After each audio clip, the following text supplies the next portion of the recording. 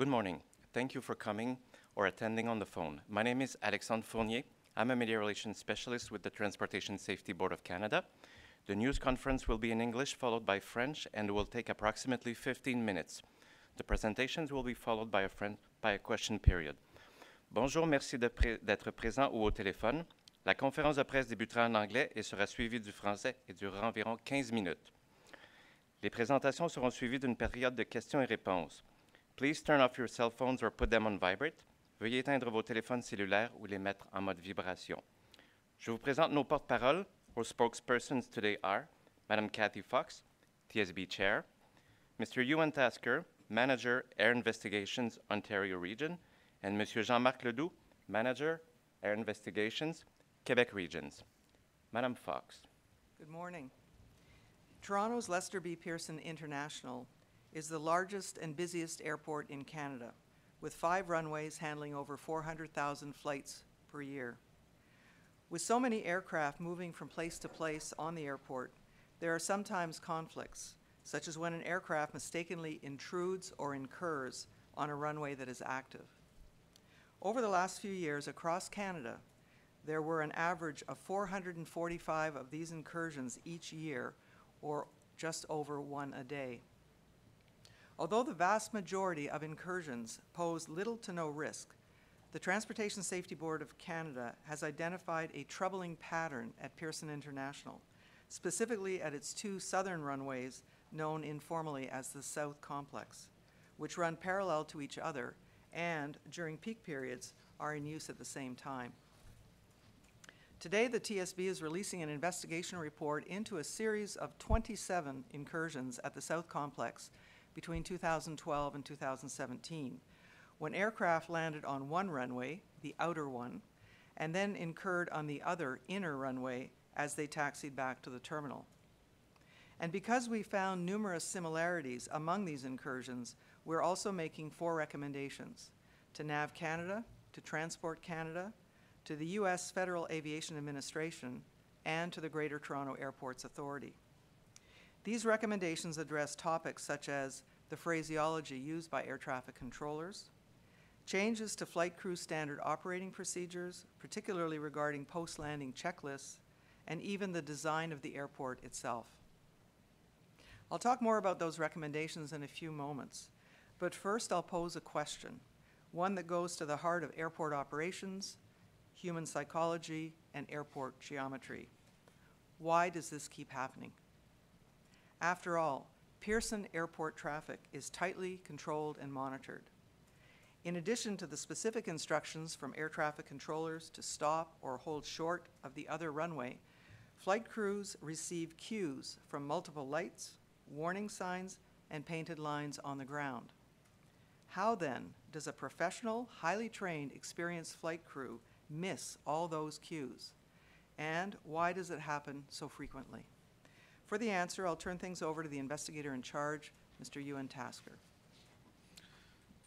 Thanks, Kathy. On screen, you can see a diagram of the two runways that make up the South Complex. During busy periods, each of these can handle hundreds of takeoffs and landings each day.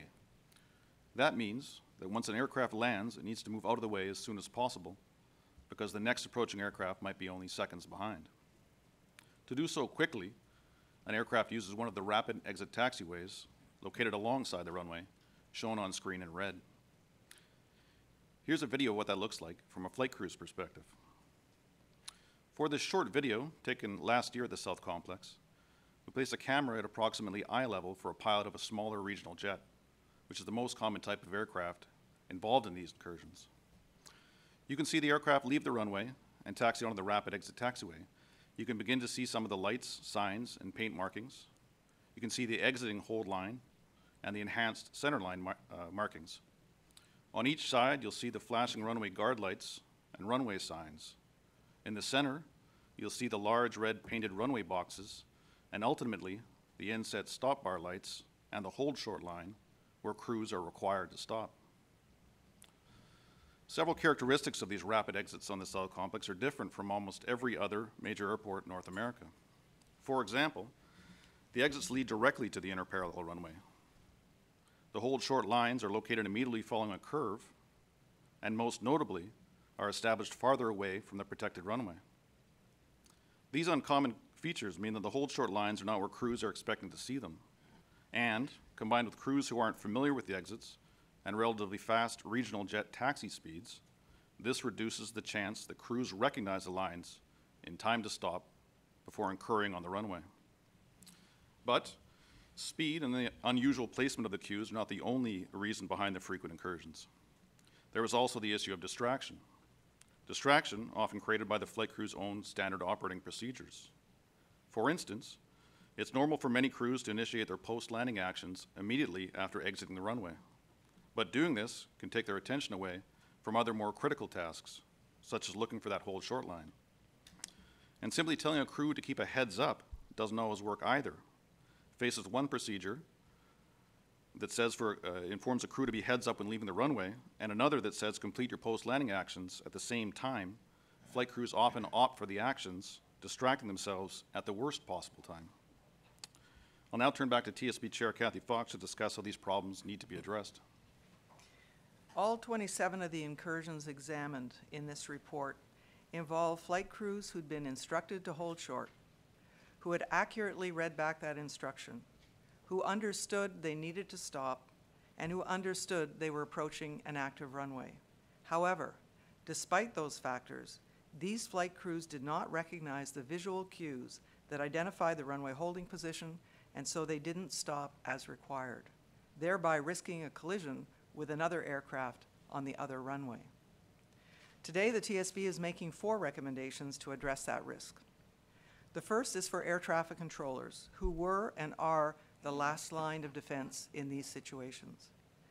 What we learned was that sometimes, when an incursion required controllers to issue safety critical instructions to the second aircraft involved, one either departing or landing, those other flight crews did not always realize that the order was being directed at them, or at least didn't recognize the significance of what was being said.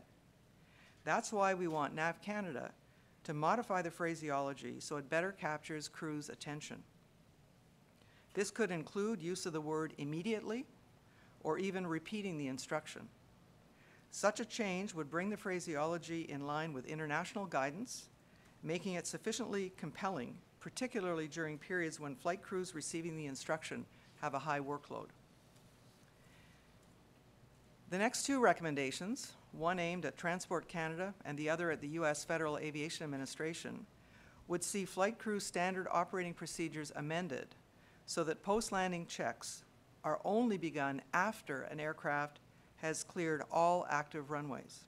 This would keep flight crews' attention focused outside the cockpit when approaching and crossing active runways and reduce work-related distraction at critical moments. Finally, we are recommending that the Greater Toronto Airports Authority make physical changes to the taxiway layout at Pearson International's South Complex. This could happen in a number of ways. For instance, changing the design and position of the rapid exit taxiways, creating a perimeter taxiway to go around the other active runway, or even constructing a separate intermediate taxiway between the two parallel runways. In fact, the TSB examined 130 airports worldwide, including the top 100 airports internationally and the top 60 airports in the United States by passenger volume. And Pearson International was the only one in North America that had sufficient space for an intermediate parallel taxiway between its parallel, parallel runways, but did not include one. Ultimately, it's up to the GTAA to decide which physical changes are made. In the meantime, until those changes are made, we want to see further improvements to increase the visibility of these hold short positions. Because clearly, more needs to be done so that all flight crews see the cues and react as required. And until this happens, the TSB will continue to push for safer skies and for safer airports for everyone. Thank you. Nous allons maintenant procéder avec la présentation en français. Monsieur Ledoux. Bonjour. L'aéroport international Lester Pearson de Toronto est l'aéroport le plus important et le plus achalandé au Canada. Il compte cinq pistes et accueille plus de 400 000 vols par année. Avec autant d'aéronefs qui se déplacent sur le terrain de l'aéroport, il y a parfois des conflits, par exemple lorsqu'un aéronef empiète par erreur ou fait une incursion sur une piste en service. Le BST publie aujourd'hui un rapport d'enquête sur 27 incursions qui sont survenues au complexe sud de l'aéroport Pearson de 2012 à 2017. Dans tous les cas, un aéronef a atterri sur la piste extérieure avant de faire une incursion sur la piste intérieure durant le roulage vers l'aérogare. À l'écran, elles sont en vert et en jaune. Pourquoi ces erreurs continuent-elles de se produire? C'est une bonne question, et la réponse touche directement les activités d'un aéroport, la psychologie humaine et la géométrie des aéroports. Vous voyez à l'écran les deux pistes parallèles qui composent le complexe sud. Durant les périodes de pointe, un, aéronef doit libérer la piste dès que possible après son atterrissage parce que le prochain aéronef le suit de près.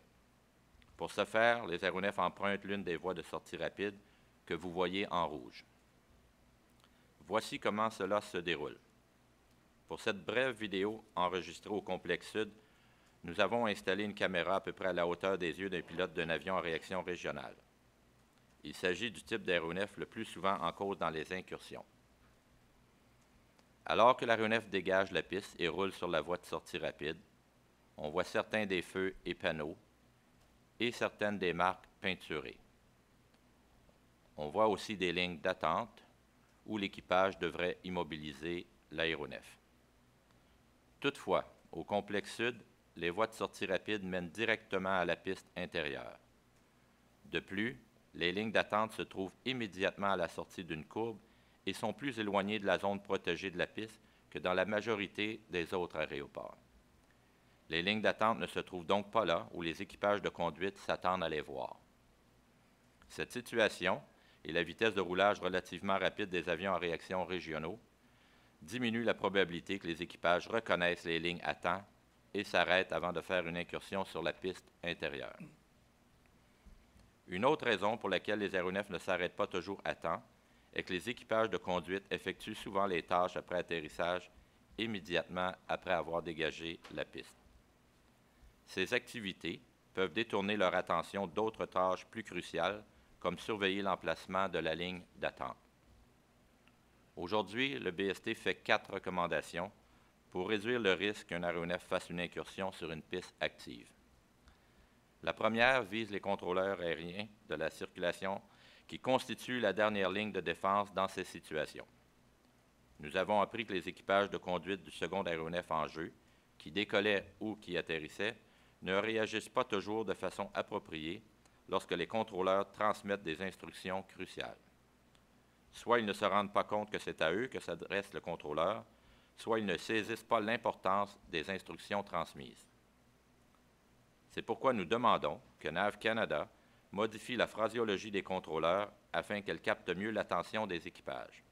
Les contrôleurs pourraient, par exemple, employer le mot immédiatement ou répéter les instructions.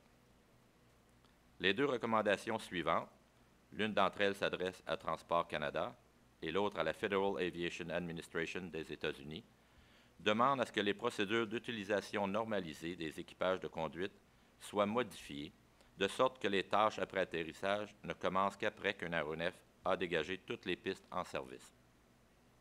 Ainsi, l'attention des équipages de conduite devrait être portée à l'extérieur du poste de pilotage lorsqu'ils approchent d'une piste en service ou la croise. Cette modification permettrait de réduire la distraction liée à la charge de travail à des moments cruciaux.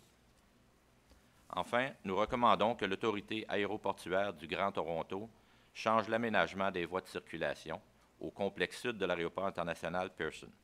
Elle pourrait, par exemple, changer la conception et la position des voies de sortie rapide, créer une voie de circulation périphérique pour contourner l'autre piste en service, et même construire une voie de circulation médiane distincte entre les deux pistes parallèles. La décision reviendra à l'autorité aéroportuaire du Grand Toronto, mais en attendant, nous souhaitons voir d'autres améliorations pour accroître la visibilité des points d'attente, car il est évident que des mesures additionnelles s'imposent afin que tous les équipages de conduite puissent voir les repères et réagir correctement. En attendant, le BST continuera de demander des changements pour promouvoir la sécurité pour tous dans l'espace aérien et aux aéroports. Merci. We will now start the question period. We will take questions from the room, then we'll go over the phone. Please use the microphone and identify yourself and your media outlet. One question, one follow-up, please. Nous allons maintenant commencer la période des questions. Nous allons d'abord prendre des questions dans la salle, puis celles au téléphone. Veuillez utiliser le micro en fournissant d'abord votre nom et votre affiliation. Une question et une question de suivi, s'il vous plaît. Yeah, hi, Sir. I'm Randy Rath with CCH TV. Um, do the layout of these runways and the layout of the taxiways, does it mean that this, that Pearson International presents greater risk to aircraft than is found in most airports? So that's what this uh, investigation report looks at, is that we, we identified uh, 27 runway incursions that occurred between June 2012 and November 2017. And uh, we needed to look at them and, and determine uh, the level of risk that was there. Now, some of these events, uh, the severity of those, those events range from, from moderate to, to quite serious. And so as a group, we need to understand the, the underlying reasons behind why those happened. And then the, the report's very complex in comparing it to other uh, airports around the world. So it's very difficult to say that there's a higher risk in Toronto than, and otherwise. What we have identified is, is a risk in this case of this type of incursion and happening at this spot. And so we analyzed that spot specifically to try, try to reduce that specific risk. Have there been near misses? Have, have lives been endangered here? Well, again, uh, so with the 27 incursions, the, the, the severity of them uh, does range from, from, from uh, moderate or light to, to uh, relatively serious. And uh, so in, in terms of saying uh, lives at risk, that's, that's a very uh, difficult thing to say, but there, there's a range of, of closeness. None of the, in- the end, like I meant, or the um, Kathy mentioned, uh, the last line of defense did prevail. So air, uh, air traffic controllers did intervene and stop all the aircraft, almost all of them before reaching the runway surface. Three only of the 27 reached the surface itself, and even those necessarily weren't, let's say, that's close. The other departing aircraft was often airborne and, and, and uh, quite high in the air at that time, or perhaps not even uh, on the roll yet. Was that just luck? No, I wouldn't say it's luck. You know, in, in a system like this, there's uh, many lines of defense. So lines of defense in this case would be the, the runway design itself, the lights, signs, and markings, and, and et cetera, air traffic control, flight crew procedures, and then in the end, air traffic control interventions, that last line of defense. So luckily here, in this, in these cases, the last line of defense uh, did prevail. Next If I can please. just add one thing. Um, There are over 400,000 flights per year that, that use uh, Pearson to land or, or take off. And, uh, and they happen in all, uh, you know, quite safely and, and uneventfully. But our job is to identify areas, gaps, where risk can be reduced to prevent an accident from happening. And that's what we're doing today with this report, these findings, and our recommendations. Hi, Farah from CBC News. Uh, one of the recommendations is obviously to make these modifications to Pearson Airport, and I think Kathy, you touched on this. Uh, how feasible is that given the space that exists right now? Are we talking about having to construct a completely separate uh, parallel runway that would be designed differently, or is there space within the existing design to make the changes that you're recommending? There, is space within the exist, between the existing uh, parallel runways in the south complex to, to make changes. But what we're recommending is that the GTA make physical change to the taxiway layout, and that could be redesigning these uh, rapid exit taxiways, could mean uh, having a perimeter taxiway that goes around the other, uh, the inner runway, uh, or it could mean uh, putting in a- an intermediate parallel taxiway between the two parallels. There's enough space to do it. That is the most common solution used at other airports, but it isn't the only one. And that's why we're recommending that GTAA look and identify what is the most uh, viable solution uh, at Toronto.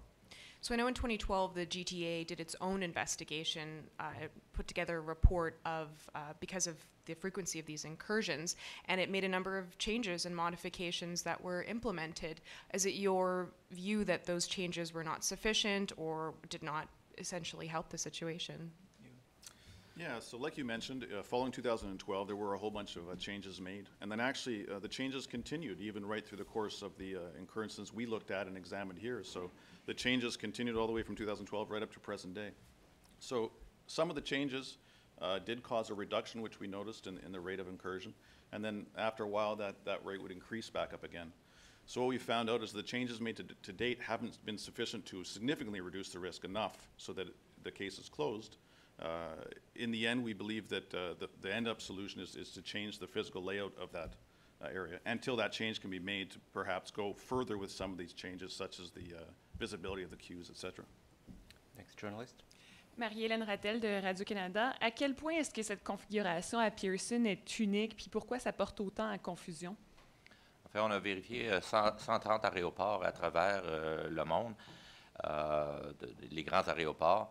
Et euh, parmi tous ces aéroports, il y en a seulement que euh, 12 qui n'ont pas de voie de circulation euh, parallèle euh, entre les deux pistes. Et sur ces 12-là, il y en a 8 euh, qui ont moins que 1000 pieds entre les deux pistes. Donc, euh, il y a moins d'options à ce moment-là pour construire une voie de circulation euh, entre, euh, parallèle. Euh, ce qui est différent aussi dans ce cas-ci, c'est que les, euh, les voies de circulation, euh, les voies de sortie rapide ont une courbe et la ligne d'arrêt se trouve immédiatement euh, après cette courbe-là. Et la ligne d'arrêt est également plus éloignée du centre de piste. Donc, la ligne n'est pas un endroit où les équipages de conduite s'attendent de la voir. Et euh, leur grande vitesse fait en sorte aussi, lorsqu'ils dégagent la piste, qu'ils ont moins de temps pour euh, euh, observer les, différents repères visuels pour détecter la ligne d'attente.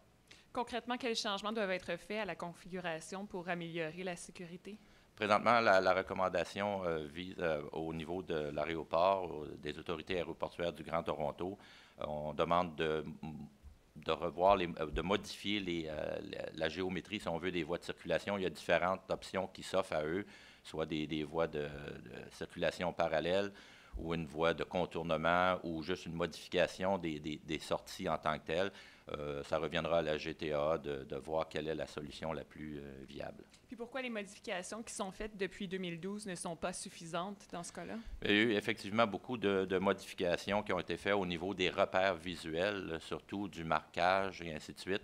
Euh, malgré qu'on a vu une, diminution du, euh, du taux d'incursion, peu de temps après, il y, a, eu une augmentation. Donc, c'est pour ça, dans notre recommandation, entre-temps, que, parce qu'on on est conscient que la- les, les modifications aux, aux voies de circulation, ça ne peut pas se faire du jour au lendemain. Donc, c'est pour ça qu'on demande à la GTA, entre-temps, de, de- de- d'apporter également des modifications aux différents repères visuels ou au marquage afin de, de réduire les, les risques d'incursion. Next journalist, please.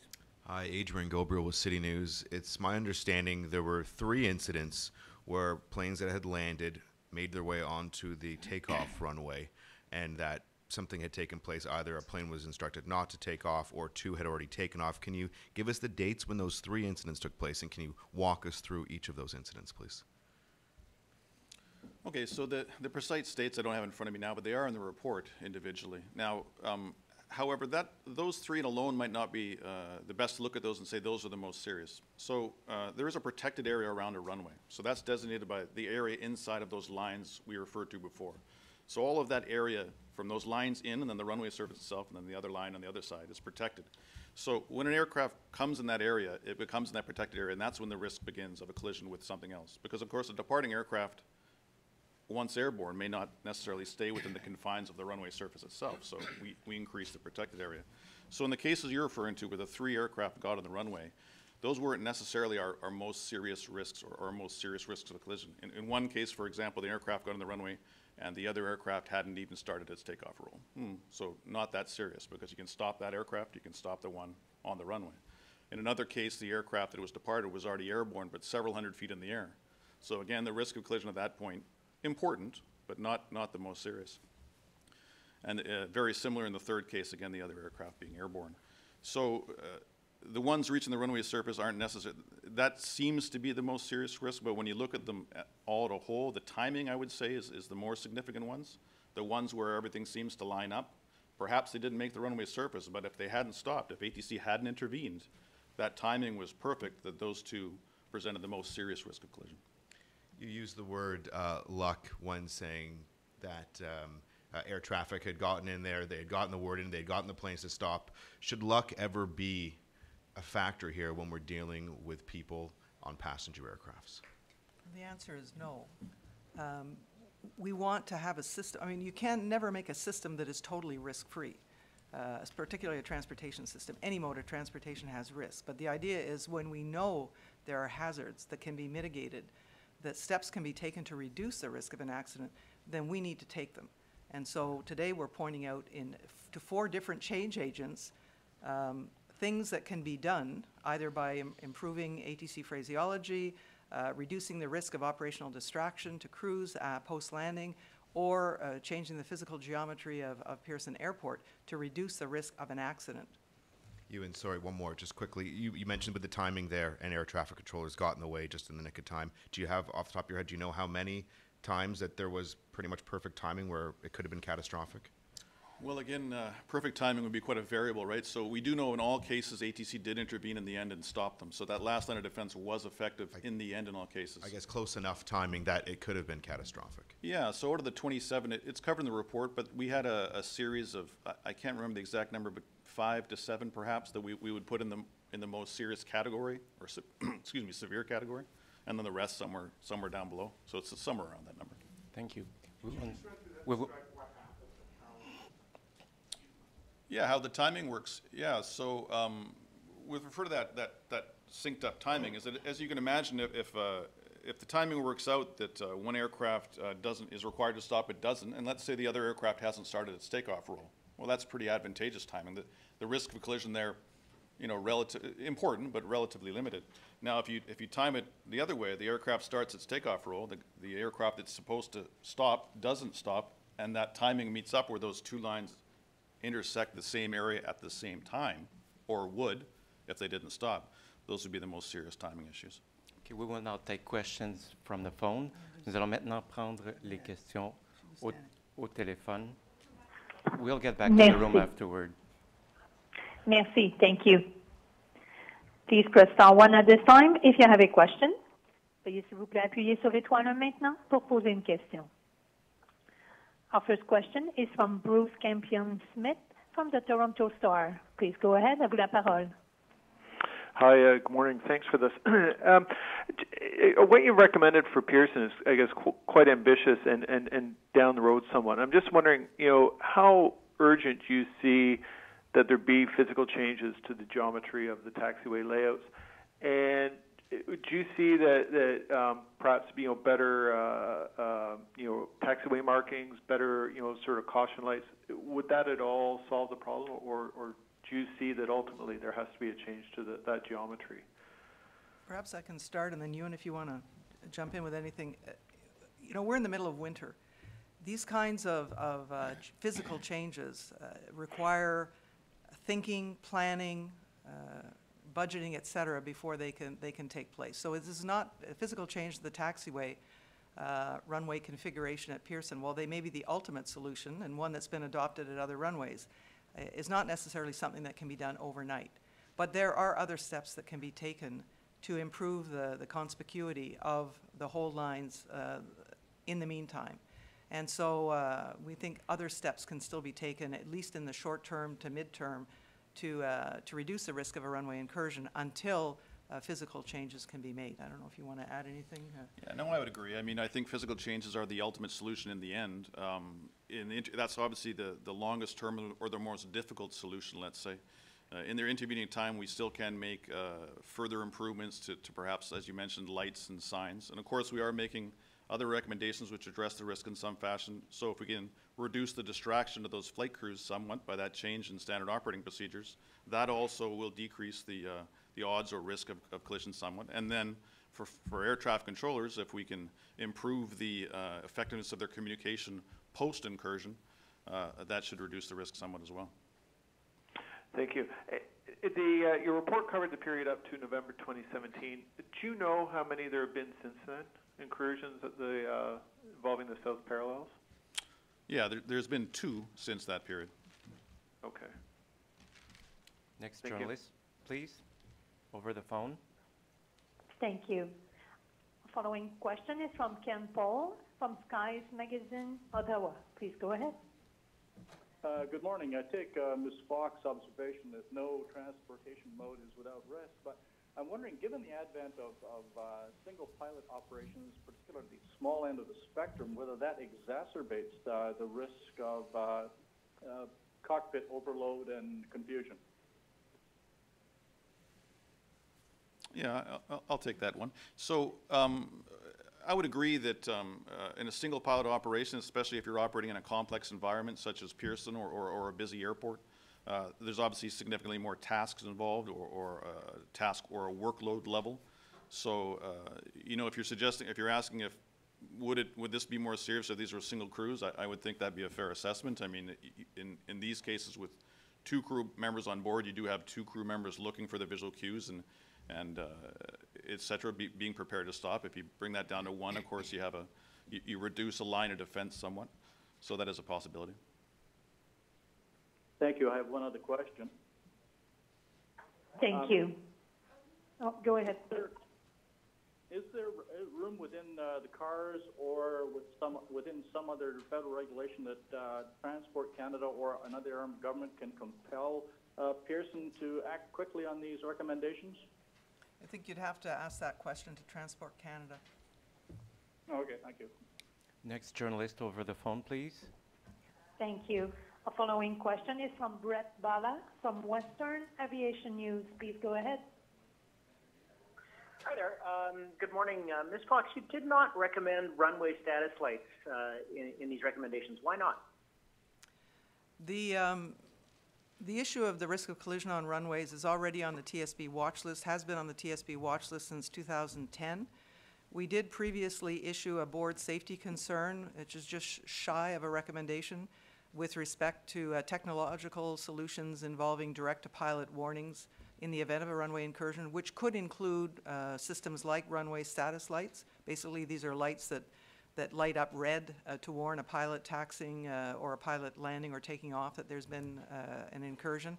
But um, we felt in, in, in this case, I mean, that's certainly an option uh, for, for, for all airports to look at or major airports to look at. And uh, since we'd already issued the concern, since we've already mentioned that in our watch list, we didn't feel it was necessary to make a separate recommendation on that uh, at this point. Okay, thank you. And um, uh, the GTA, the GTAA put out a uh, statement this morning uh, saying we, we've worked with the TSB. Uh, we've made changes to specific enhancements for our runways and taxiway, new lighting systems, mandatory LED backlit signage, but they're not committing to making any changes. Do Well, you have any, rec- or any reaction to that? in fairness, they've just received our recommendations, and uh, we hope they will take the time to study uh, the recommendation in terms of uh, other options, uh, and that uh, we'll wait to, to have a formal response from them to the recommendation, uh, hopefully within the next 90 days, although they're not required to respond to the TSB in the same way that the Department of Transport is, the Minister of Transport. We hope that they will respond uh, once they've had a chance to fully assess uh, the options. We'll take a question. We'll take a question from the room and then go back to the phone one, uh, one more time. Go ahead. Just a quick follow-up question, uh, Farah, again from CBC, on why it is that Pearson has this unique curved design. You mentioned it's the only one in North America uh, that looks like this. Was it because it was designed or built at a different time, or why, in your investigation, were you able to co- find out why it is that it's unique in this way and causing these issues? So, um, when the runway was constructed and designed uh, before 2002, um, uh, some of the more recent guidance we talk about in the uh, investigation report, which, which lets uh, guide or recommends against uh, what we call direct access, those, that's those rapid exit taxiways that, that uh, come off the, the landing runway and, and go right directly onto the inner runway. That guidance, informal or international otherwise, wasn't necessarily out yet at the time.